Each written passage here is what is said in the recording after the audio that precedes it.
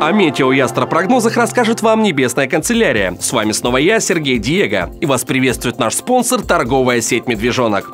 22 октября, по данным Гизметео, в Северодвинске ночью ожидается минус 10 градусов, ясно. Днем температура поднимется до отметки минус 6, малооблачно и без осадков. Ветер северо-восточный до 5 метров в секунду. Атмосферное давление в течение дня будет повышаться и к вечеру составит 772 миллиметра ртутного столба.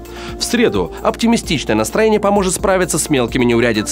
Вы сможете разглядеть новые перспективы в довольно сложной ситуации. В среду вам удастся с первого взгляда составить правильное впечатление об интересующем вас человеке. Так что стоит воспользоваться ситуацией и познакомиться поближе с потенциальным возлюбленным. Ну а родители смогут порадовать своих малышей и поможет им наш теплый спонсор торговая сеть «Медвежонок».